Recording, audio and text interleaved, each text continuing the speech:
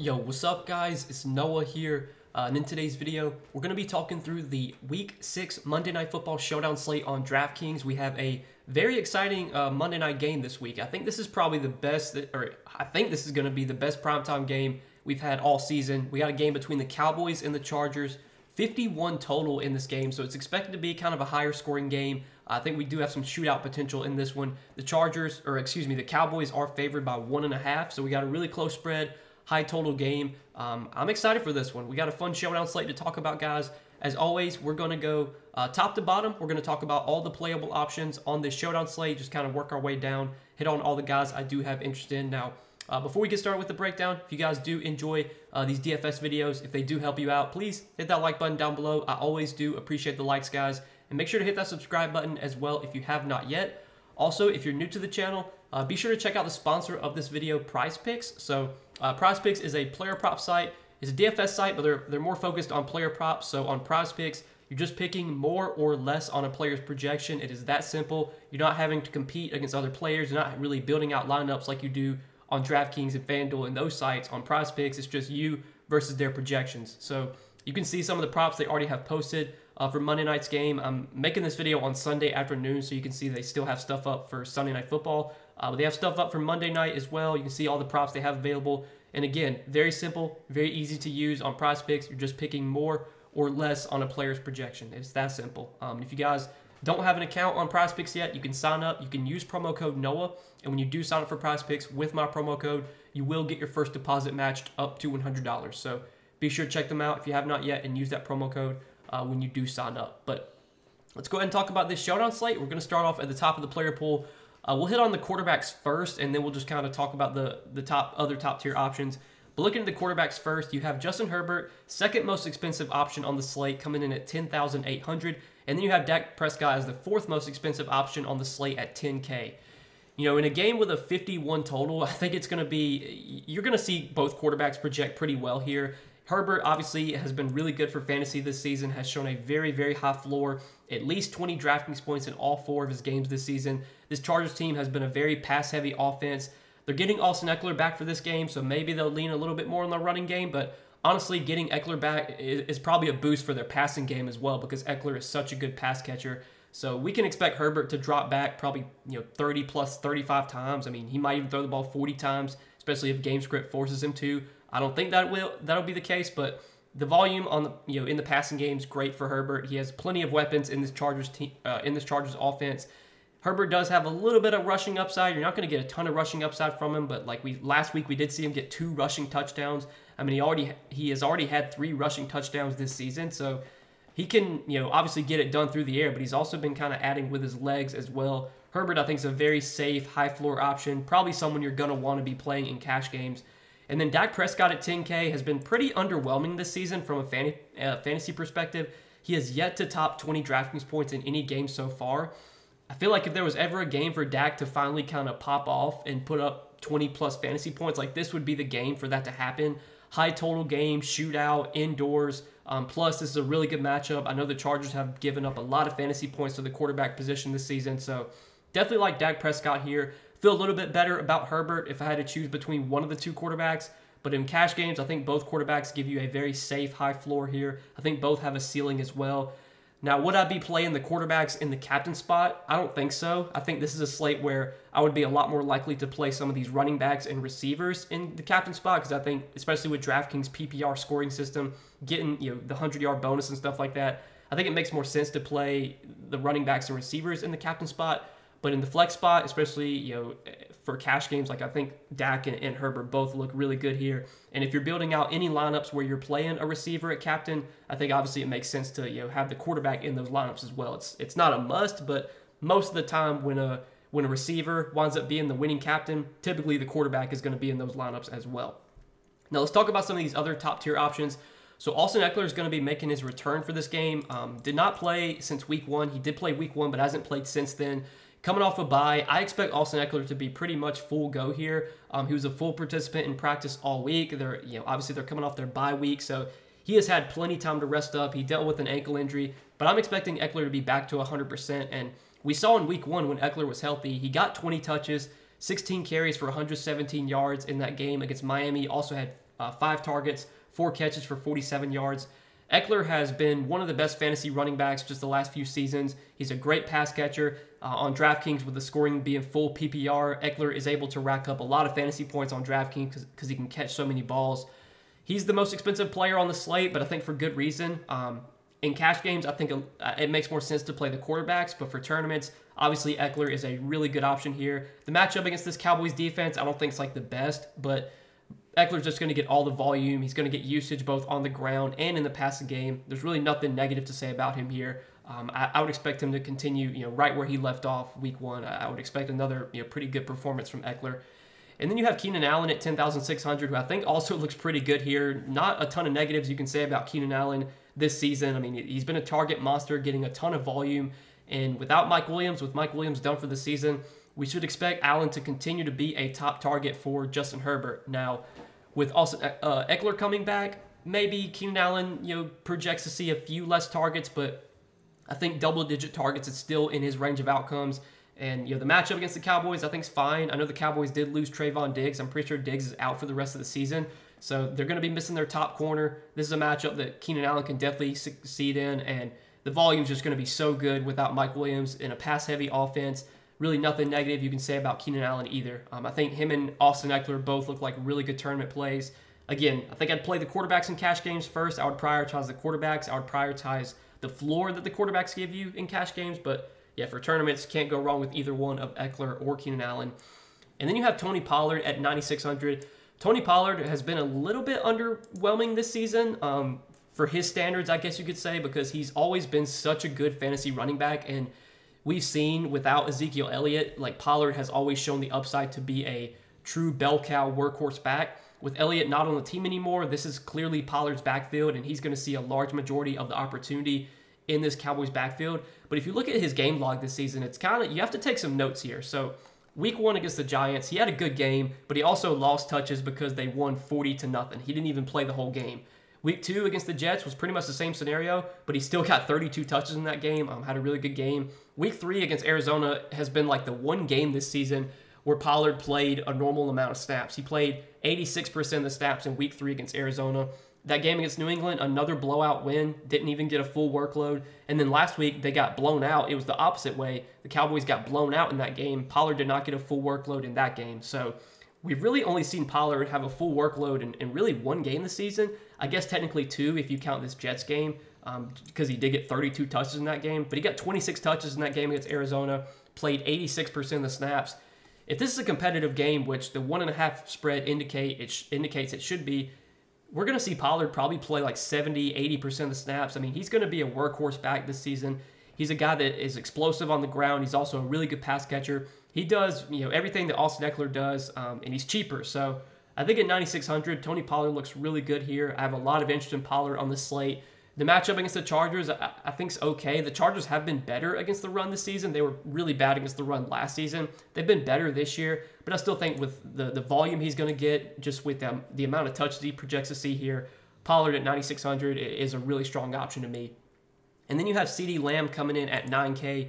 CeeDee Lamb is going to be you know a top target for Dak Prescott. We know that. He's going to project to see probably you know eight to nine targets, if not more, on a weekly basis. Lamb has been a little bit underwhelming this season, but I think a large you know that could be due to just the fact that Dak's kind of also been a little bit underwhelming from a fantasy perspective. So Dak not having really many good fantasy games has resulted in CeeDee Lamb not having many good fantasy games. Plus, these blowouts have not really helped either. You know, they got blown out last week. They blew out New England. Um, the game against the Giants, they blew them out. This is a game where I think we finally see CeeDee Lamb, you know, put up a not I don't want to say a ceiling game, but I, would not you know I would not be surprised to see like 100 plus yards from CeeDee Lamb here. Um, I think he's more of a tournament play in cash games. I would prioritize the quarterbacks. I think I would prioritize uh, Pollard and the running backs over Lamb, but man, for tournaments, I have no issue going to CeeDee Lamb at 9K. Um, clearly, the upside is there, and in a really good matchup, great game environment, high total game. Again, I would not be surprised if this is a spot where you finally see CeeDee Lamb kind of break out. Um, then you have Josh Palmer at 7K who I think is a you know decent option here in the mid range. He is closely priced enough to guys like Lamb and some of these other guys we talked about that I would rather get up to those guys if I can. I think if Paul, I think if Palmer was like I want to say like 6K or like 55, 5600. Like I think Palmer would look a lot more appealing if he was kind of uh, you know thousand dollars cheaper. He's kind of priced in like no man's land where he's expensive enough to where I don't want to. I would rather get up to the guys priced above him.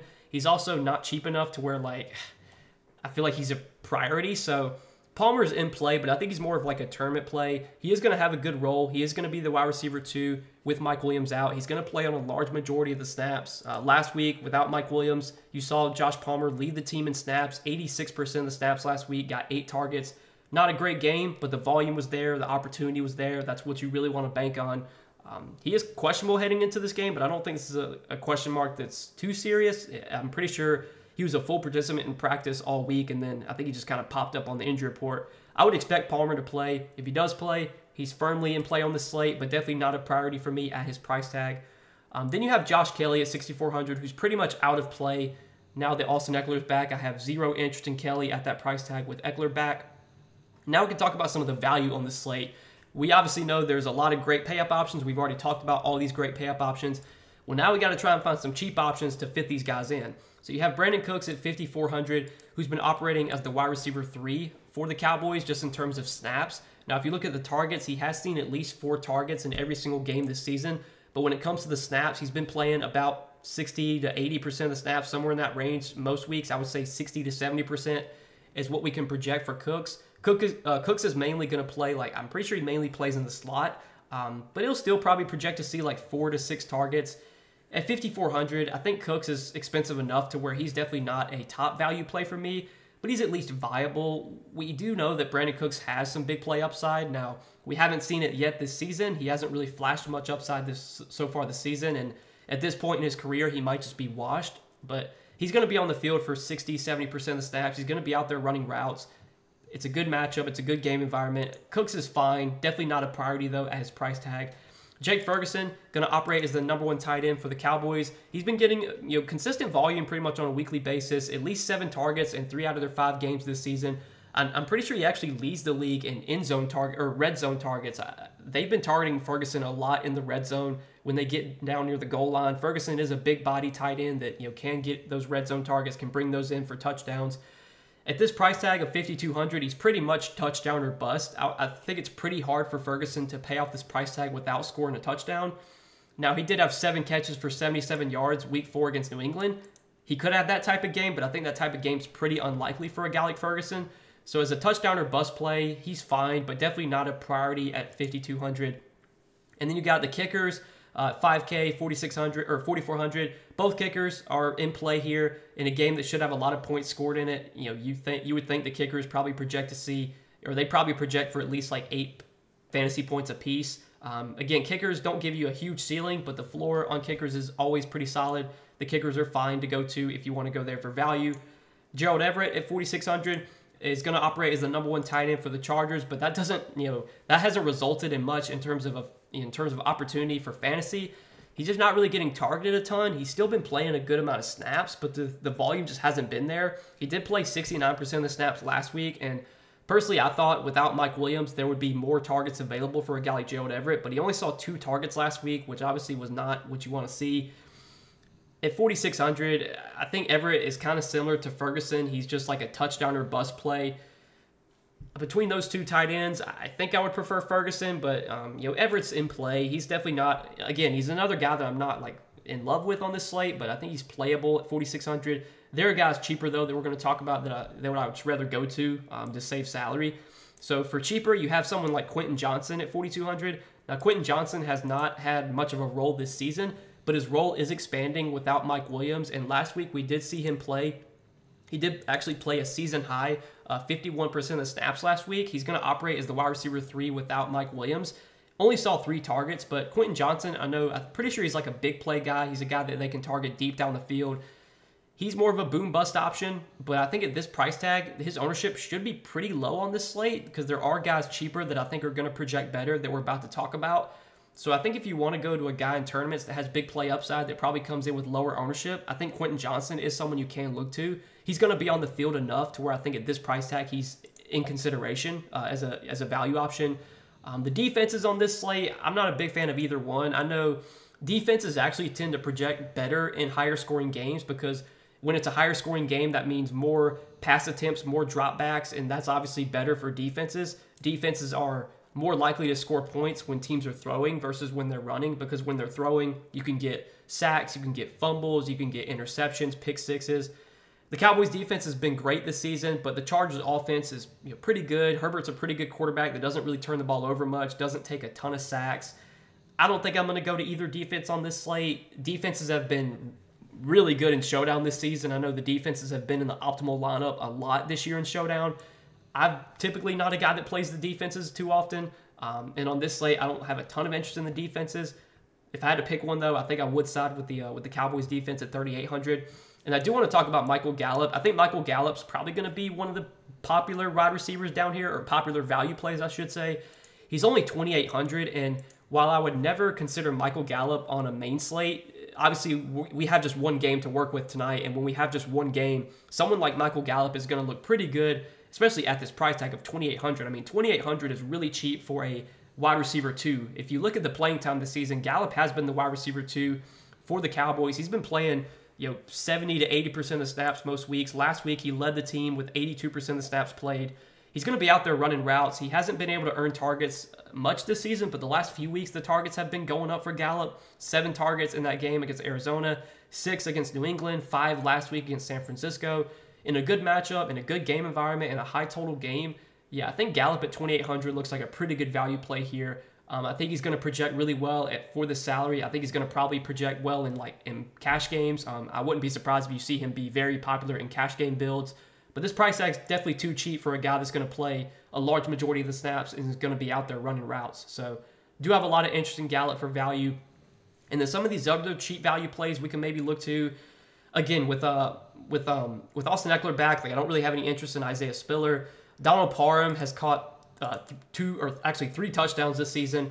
He's just a touchdown or bust play at best. You know the the Chargers are going to involve multiple tight ends, but at most you're probably going to see like I don't know 20, 30 snaps for for Parham. He's just a boom bust touchdown or bust play. Not a ton of interest in him at 2200. Uh, Rico Dowdle is just going to back up Tony Pollard, and if this game's competitive, I think you probably see Rico Dowdle get like five, six touches. Rico Dowdle has seen increased opportunity in some of these blowouts, but this doesn't project to be a blowout, so I don't think at 2K I'm really interested in him.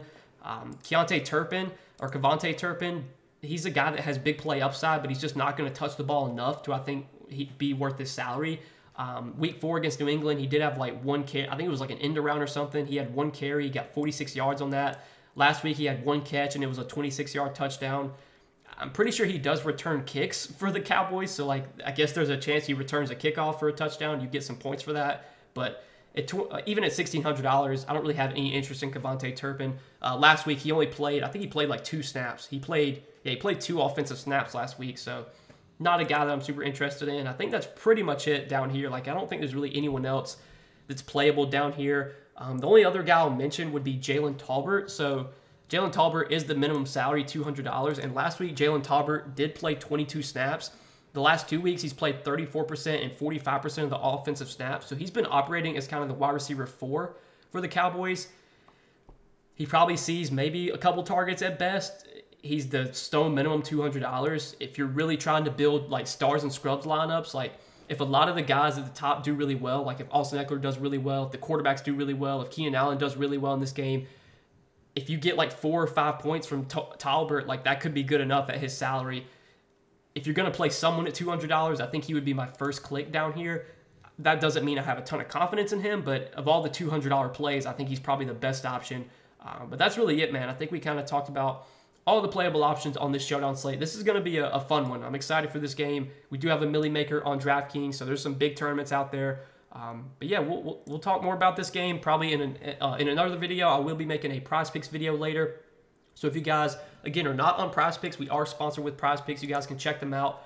Link down below in the description. We'll be talking more about this game in a prize picks video that I'll post later tonight after this video goes up. So if you want to know some props, some player props I like in this game, um, we'll, we'll talk about those in those video in that video. We'll give them out there. Check that out if you are interested. And if you don't have account on PrizePicks, Get signed up. Use promo code NOAH. You will get your first deposit matched up to $100 when you sign up for PrizePicks uh, with my promo code. But that's all that I got for this Monday night game, guys. Appreciate you watching the video as always. Hope you guys enjoyed. Best of luck on this slate. Hopefully, we can all win some money tonight, and I'll see you guys in the next one. Peace.